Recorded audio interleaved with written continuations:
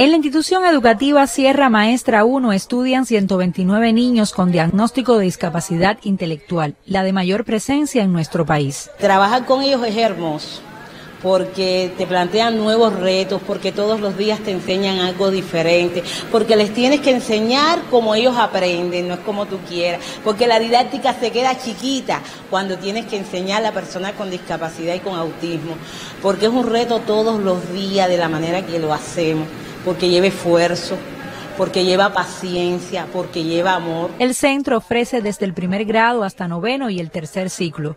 Prepara de manera integral, incluyendo la formación laboral en diversos oficios y también acoge a egresados como trabajadores. Yo trabajando en el huerto coral y, ayudando a los estudiantes. Tomate, ajo orégano, yuca, sí.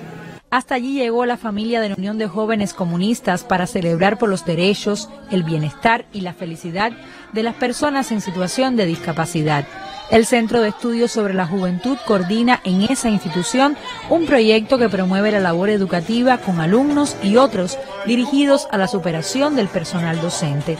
Yo creo que es importante la sensibilidad de todas las personas, de todos los que hacemos revolución. Y hoy hemos vivido un día de mucha sensibilidad, de mucho humanismo, y yo creo que un día de mucha felicidad y alegría en compartir con ese colectivo de maestros, de niños, algunos padres, algunos egresados propios de la escuela. Participó la brigada de instructores de arte José Martí y Annie Garcés con el espectáculo Gato y Pon con sus miradas, gestos y con su alegría contagiosa, se convirtieron en los protagonistas de un espacio educativo y recreativo diseñado con conocimiento de sus necesidades y características.